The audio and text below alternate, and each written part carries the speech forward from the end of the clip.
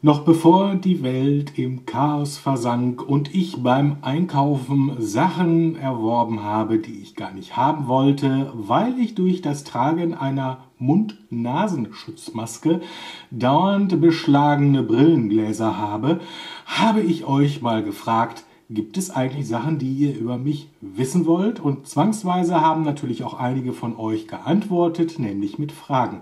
Und die beantworte ich jetzt. Viel Spaß damit.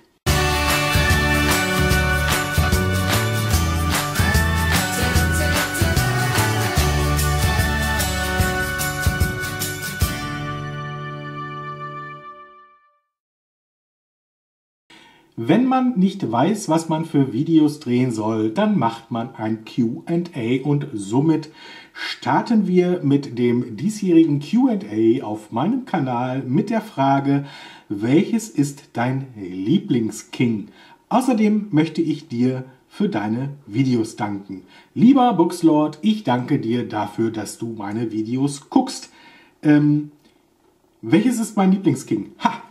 Übrigens, gerade jetzt wo wir drüber sprechen. Ich lese ja gerade zum zweiten Mal S nach 35 Jahren wieder und ich muss sagen, dass mir gar nicht mehr so richtig klar war, was für ein groß, groß, großartiger Roman es ist. Stephen Kings S als Horrorroman zu bezeichnen, geht völlig an der Realität vorbei. Es ist auch ein Horrorroman, aber vor allen Dingen ist es eine äh, unfassbar dicht erzählte Coming-of-Age-Geschichte. Es ist einfach alles das, was man von Stephen King erwarten kann. Deshalb würde ich sagen, er teilt sich, also es teilt sich den ersten Platz mit einem ähnlich aufgebauten Buch von ihm, nämlich Dreamcatcher Duddits.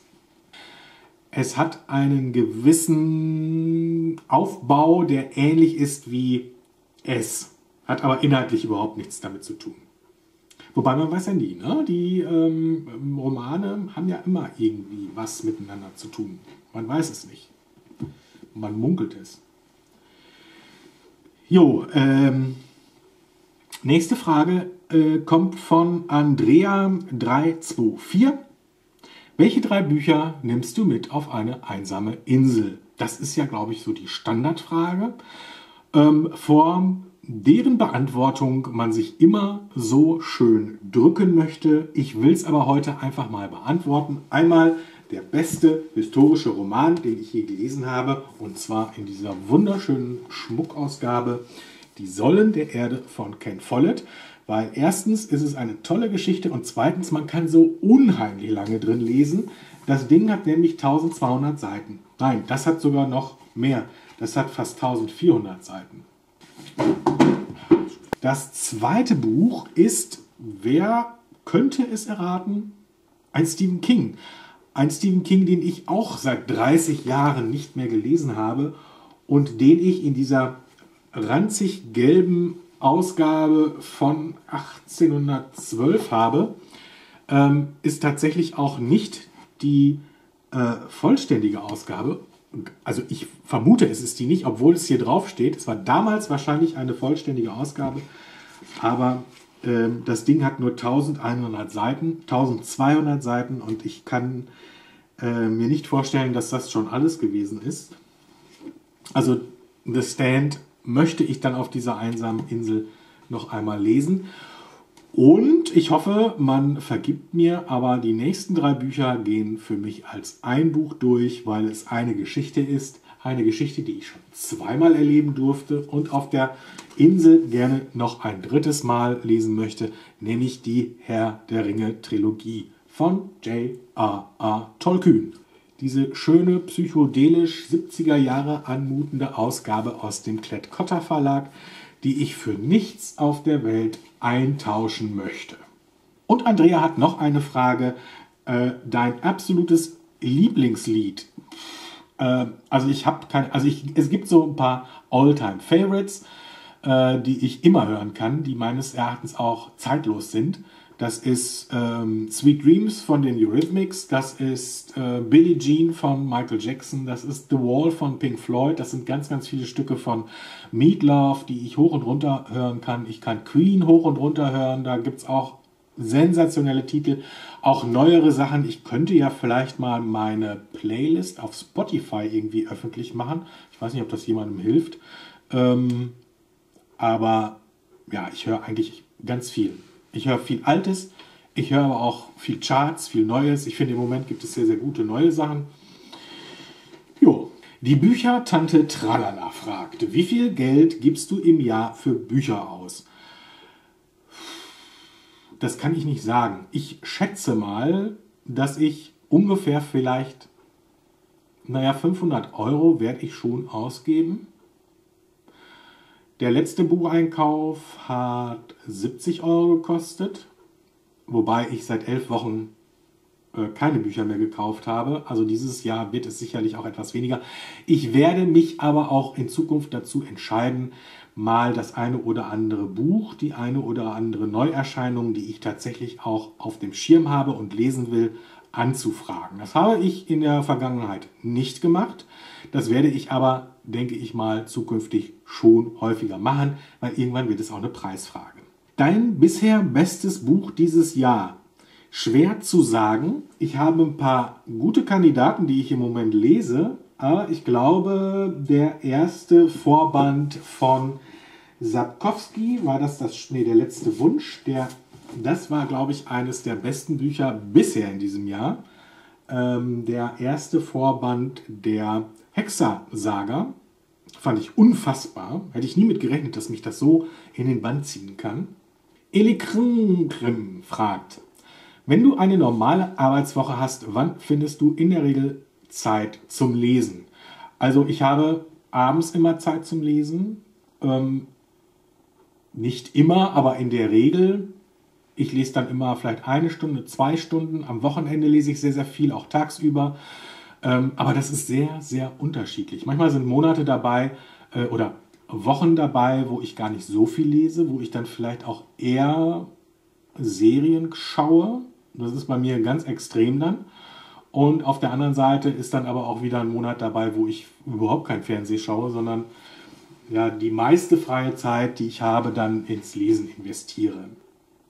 David Zopf, äh, Zipf Zipf, ist das David Zopf? Ich weiß gar nicht. David äh, fragt, welches Buch liest du aktuell und wie findest du es bisher?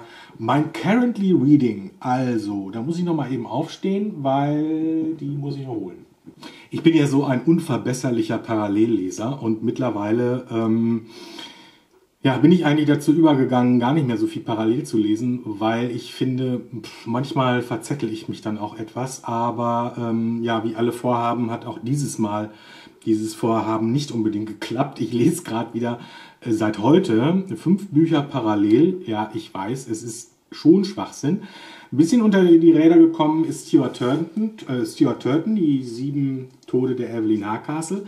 Habe ich lange nicht mehr reingeguckt. Ähm, ganz schlecht bei dem Buch, weil man muss da echt am Ball bleiben. Dann lese ich gerade Stephen, achso, wie ich die Bücher finde, äh, hervorragend, also fünf Sterne bisher. Stephen King S. Äh, habe ich bis auf Seite, also habe ich jetzt ein, ein Drittel durch.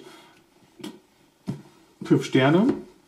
Dean Koons, Das Versteck, ein, äh, kein äh, Odd Thomas, sondern ein Standalone. Bisher eines der besten Standalones, die ich gelesen habe oder die ich lese. Ähm, sehr, sehr atmosphärisch, ziemlich unheimlich. Äh, cooles Ding. Welt in Flammen, ein historischer Roman rund um eine Illustro-Gruppe im Orient Express. Ähm, ja, fünf Sterne. Kann es nicht anders sagen. Und heute, ich wollte kurz reinlesen, ein ganz brandneues Buch, heute gekauft, ähm, wollte kurz reinlesen, bin auf Seite 130 stehen geblieben. Äh, Bill Bryson, eine kurze Geschichte des menschlichen Körpers, auch ein Currently Reading. Und mir scheint, ich habe gerade im Monat Mai, Ende des Monats, einen Lauf, auch ein potenzielles 5-Sterne-Buch. Also es sind tatsächlich alles potenzielle 5-Sterne-Bücher. Justin von Buxton fragt, Lieblingsgenre. Bücher. Oh, jetzt wird nach Lieblingsgenre gefragt und nach Lieblingsbüchern gefragt wahrscheinlich. Das ist natürlich schwer zu beantworten. Lieblingsgenre Genre habe ich eigentlich nicht. Ich lese gerne äh, Thriller. Ich lese gerne alles Skandinavische. Das muss nicht unbedingt Krimi oder Thriller sein. Das können auch andere Geschichten sein. Ich lese gern äh, historische Romane, gute, gut recherchierte historische Romane ohne viel Gedöns. Natürlich lese ich gerne Sachbücher, äh, vor allen Dingen Sachbücher über Psychologie und Kriminalistik, ähm, am liebsten gepaart miteinander, so Sachen wie Frau Dr. Benecke rausbringt oder so Sachen wie der Herr Herbert schreibt. Das ist immer so für mich unfassbar interessant, könnte ich alles äh, drüber lesen. Aber ich lese auch ähm, solche Sachen, zum Beispiel wie den Bill Bryson. Das ist ja auch ein Sachbuch. Hm, unterhaltsam müssen sie sein. Ja, zu den Lieblingsbüchern. Ich habe mal ein Video gemacht oder äh, die Kingsianer haben mal Videos gemacht zum Thema äh, Kingsianer können mehr als King. Da sind einige meiner Lieblingsbücher dabei. Aktuell habe ich gerade gestern eine Liste beendet mit den 100 besten Büchern, die ich kenne. Ähm, das wird sicherlich auch mal irgendwann in einem Video äh, thematisiert. Und ähm, ansonsten sind großartige Bücher S von Stephen King. Der Wintersoldat ist ein großartiges Buch. Die Säulen der Erde, die geheime Geschichte von Donna Tartt ist absolut wahnsinnig. Der Schwarm von Frank Schätzing, die Geschichten äh, um Zamonien von Walter Mörs. Ähm, J.R. Tolkien ist großartig. Die Reacher-Reihe von Lee Child lese ich gerne. Es gibt so viel. John Nesbø, äh, Carlos Ruiz Zafón. Es sind wunderschöne Bücher und ja, so könnte ich stundenlang weitererzählen. Kissa Tassu fragt, kannst du gut singen? Ähm, nein, ich glaube nicht. Silja Kess schreibt, fragt, lebst du alleine mit Fritzi und deinen Büchern? Ja, das tue ich. Steffi So Vago schreibt äh, oder fragt, wenn es möglich wäre, welche Romanfigur oder Buchfigur würdest du am liebsten treffen und welche nicht? Oh, äh, also ihr merkt, dass ich mir die Fragen jetzt gerade erst wieder aktuell angucke. Ich glaube, ich würde Ott Thomas gerne treffen, den jungen Mann aus den Büchern von Dean Koons, der Geister von Toten sehen kann. Ich hätte einige Fragen, weil er auch immer wieder Kontakt zu einem Prominenten hat, der mich sehr interessiert. Da hätte ich auch ein paar Fragen. Ich glaube, ich würde gerne ich glaube, ich würde gerne Hercule Poirot treffen. Wobei der Mann ja nicht ganz einfach ist. Ich würde gerne Frodo und Samwise treffen und mit ihnen durch ähm, Mittelerde ziehen. Ah, nee, nee, wir beschränken es aufs Auenland. Und da ein bisschen Spaß haben. Wenn ich allerdings nicht treffen möchte, ist Saruman und Sauron. Äh, aus Gründen. Ich möchte auch nicht den Hexer treffen. Gerald von Riva. Ähm, nee, der ist mir zu einsilbig. Ja? Dann lieber Plötze. Oh, ich würde gerne Erlendur treffen, nur damit ich endlich weiß, was mit ihm passiert. Ja. Nächste Frage. Wie viele Bücher besitzt du? So, das ist jetzt ein Problem, weil ich nämlich lange nicht mehr gezählt habe, aber ich besitze im Moment ungefähr 150 ungelesene Bücher. Und ich schätze, mit den gelesenen sind es zusammen vielleicht 850. Ist jetzt nur eine Schätzung. Ich müsste mal aktuell nachzählen. Was machst du beruflich? fragt Books and Scarves. Ich arbeite in einer Patentanwaltskanzlei und zwar mache ich da so ein bisschen Aktenführung, Buchführung und ähm, so ein bisschen Bürokram. Ja, im Moment allerdings aus dem Homeoffice, wie so viele andere auch. Äh, Book Junkie Haha. Gibt es einen King-Roman, der dir nicht gefallen hat?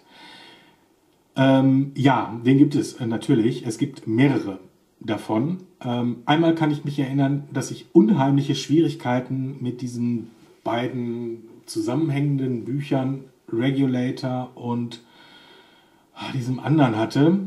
Das muss ich mir aber auch noch mal näher anschauen. Die muss ich einfach auch noch mal lesen. Hallo, was machst du hier? Na du? Ähm, da hatte ich Probleme mit. Dann war das Institut war ganz furchtbar, ein ganz, ganz, ganz schlechtes Buch meines Erachtens. Ähm, Bei der Outsider bin ich mir nicht ganz so sicher, ob ich es jetzt gut fand oder nicht so gut fand. Also es war eher so ein mittelprächtiges Buch. Ansonsten kann ich mich an viele auch gar nicht mehr erinnern. Ich habe allerdings auch noch ein paar, die ich noch nicht gelesen habe. Äh, aber das ist so ungefähr so das, was ich an schlechten Kings kenne. Alexa LLM fragt, wird es demnächst wieder was Neues von den Kingsianern geben? Also erstmal war ja schon wieder ein Livestream auf Philips Kanal und was die Zukunft so bringt, wenn erstmal diese ganzen Kontaktbeschränkungen und alles mal mehr oder weniger wieder aufgelöst ist, wird sich bestimmt im Laufe des Jahres noch was ergeben. Da bin ich mir absolut sicher. Und Alexa fragt, planst du demnächst ein Toto Talks? Ja, das plane ich. Also wie gesagt, die, die Fragen, ich sehe es gerade, sind vom 27. Februar. Leute, ich bin ganz spät dran. Ähm, kommt. Ja, ich bin jetzt wieder mehr aktiv. Alex Weber Army fragt, was hörst du für Musik?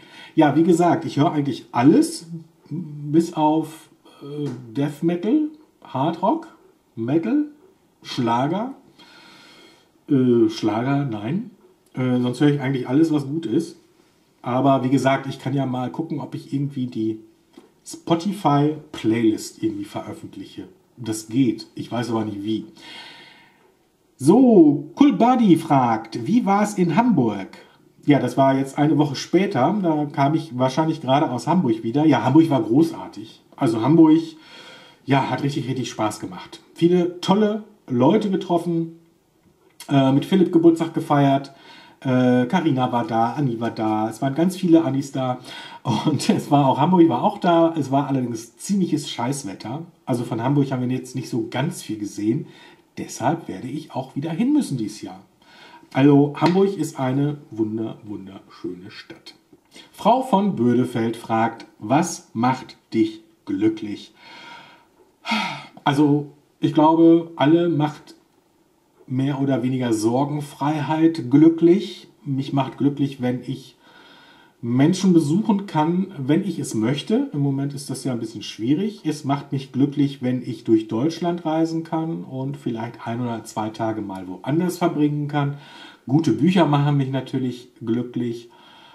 Ähm, Selbstbestimmtes Leben macht mich glücklich. Wenn es allen gut geht um mich herum, das macht mich glücklich. Das macht mich, glaube ich, am meisten glücklich. Viel mehr brauche ich eigentlich gar nicht. Ich freue mich über gutes Essen. Ja. Ab und zu macht mich auch ein Aperol oder ein Liet glücklich. Es liegt immer auch ganz an der Stimmung. Ja, es sind also keine großen Sachen. Misanthrop Cat fragt, wo liest du am liebsten? Das äh, kann ich ganz genau sagen. Am liebsten in einem der IKEA-Freischwinger, äh, entweder hier im Wohnzimmer oder in meinem Arbeitszimmer. Da sitze ich am liebsten, lege die Beine hoch und dann kann ich stundenlang lesen. Welches Buch könnte jeden aus einer Leseflaute retten? I. Miller. I. Miller fragt das. Das kommt immer ganz darauf an, was man mag. Wobei ich sage ja immer, es gibt keine Leseflaute, es gibt bei mir nur Lesepausen. Also ich habe in meinem Leben, glaube ich, noch nie unter einer Leseflaute gelitten. Ich habe wohl schon häufiger mal unter ähm, schlechten Büchern auch am Stück gelitten, aber das hat nie dazu geführt, dass ich eine Leseflaute hatte. Am besten man schaut sich sein Genre an. Was liest man gerne? Googelt vielleicht ein bisschen, geht in die nächste Buchhandlung, lässt sich beraten und ich glaube, schon allein der Prozess des Buchaussuchens und des sich beraten lassens und des Buchkaufens führt dazu, dass man Bock auf ein Buch bekommt. Belarissa fragt, dein Lieblingsthriller. Ich glaube, der beste Thriller, den ich je gelesen habe, war tatsächlich Schweigen der Lämmer. Ich glaube, das war wirklich der beste Thriller. Und das war ein Thriller, ja, der den Namen auch noch verdient. Alive for Stories fragt deine derzeitige Lieblingsserie. Ich habe gerade die zweite Staffel von Castle Rock beendet, läuft auf Amazon Star Plays ähm, und die gehört definitiv nicht dazu, weil ich die nicht besonders gut fand.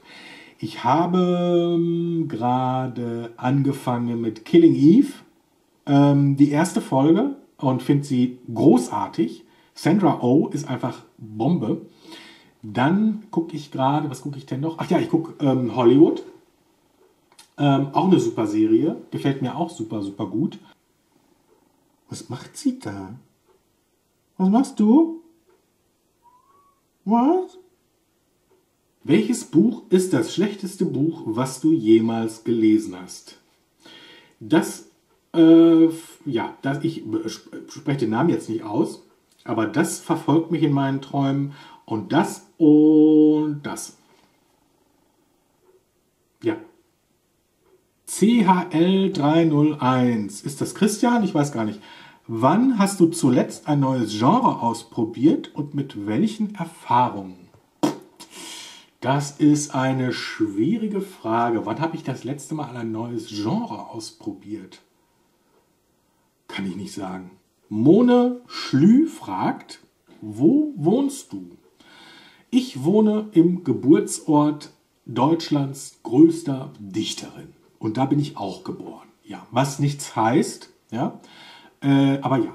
Grinsebacke liebt Bücher fragt, wenn dich True Crime interessiert, wäre das Thema Rechtsmedizin was für dich? Oh ja, ich habe schon ganz, ganz viele Bücher über und von Rechtsmedizinern gelesen. Das letzte war, Moment, hier ist es, genau, aus dem Riva Verlag, der mit den Toten spricht, Dr. Richard Shepard. Der bekannteste britische Pathologe erzählt von seinen spannendsten Fällen. Und da jetzt der Akku leer ist und mir schon ganz aufgeregt rot ins Gesicht blinkt, mache ich erstmal Schluss für heute. Der zweite Teil kommt in den nächsten Tagen und bis dahin wünsche ich euch viel Spaß bei allem, was ihr macht und sage Tschüss und die nächsten Fragen warten schon.